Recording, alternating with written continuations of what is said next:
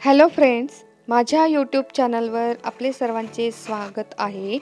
आणि आज मी तुमच्यासोबत शेअर करत आहे ओल्या वाटाण्याची चटणी आणि ती कशी बनवायची ते आता आपण बघूया. त्यासाठी मी घेतलेले आहे ओले वाटाणे आणि ते छान भाजून घेतलेले आहे तव्यावर.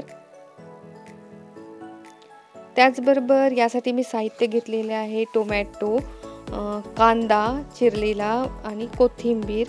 आणि त्याचबरोबर मी घेतलेलं आहे हिरवी मिरची लसूण आणि जिरं यांचं केलेलं वाटण.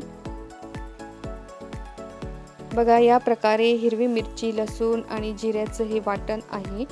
त्याचबरोबर मी हे जे ओले वटाणे आहे ते मिक्सरमधून थोडे जाडसर असे बारीक करून घेतलेले आहे.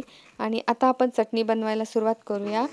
सर्वप्रथम कढईमध्ये मी आपल्याला आवश्यकतेनुसार तेल टाकलेलं आहे.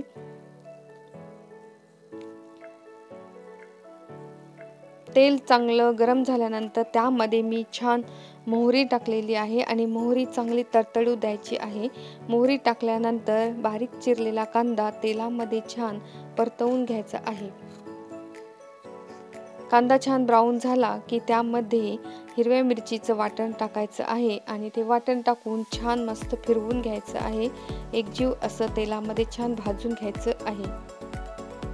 बघा याप्रमाणे छान मस्त तेलामध्ये हिरव्या मिरचीचं वाटण छान ब्राऊन होत आहे.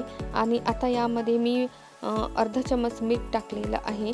त्याचबरोबर थोडं चिमूटभर तिखट टाकलेलं आहे आणि त्याचबरोबर थोडी हळदसुद्धा टाकलेली आहे. आणि सर्व साहित्य तेलामध्ये छान परतवून घेत आहे.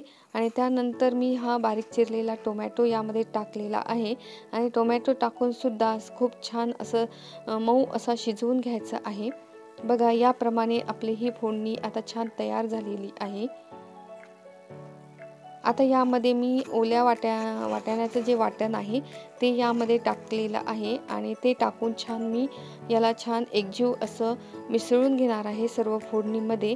आणि अशा प्रकारची चटणी खूप सुंदर लागते आणि ती सर्वांना आवडणारी असते आणि भाकरी बरोबर पोळीबरोबर खूप छान लागते. त्यानंतर मी यावर थोडं झाकण ठेवलेलं आहे अगदी दोन तीन मिनटं. आणि त्यानंतर झाकण उघडून त्यामध्ये थोडं फिरवण द्यायचं आहे. बघा या प्रकारे मऊ अशी मस्त चटणी तयार झालेली आहे. आणि वरून कोथिंबीर टाकलेला आहे.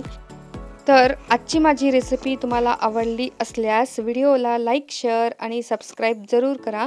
आणि व्हिडिओ बघितल्याबद्दल धन्यवाद.